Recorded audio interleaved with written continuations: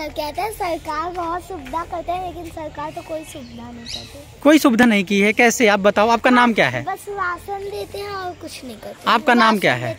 आपका नाम बताइए। रिया दुबे। रिया दुबे। आपको नहीं लगता कि सरकार सुविधा कुछ कर रही है? किए हैं तो बस वही राशन और पैसा और क्या। और कुछ नहीं दिया।